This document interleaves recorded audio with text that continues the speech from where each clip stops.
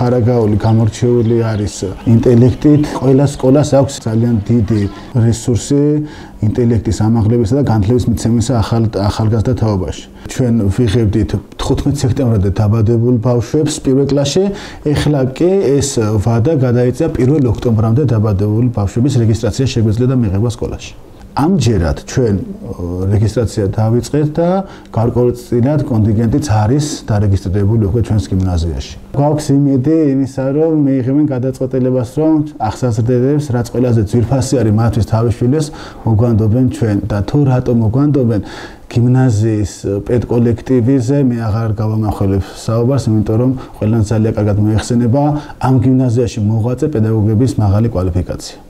განათლება სწორედ ეს არის ციგნიერებას პლუს სულიერება.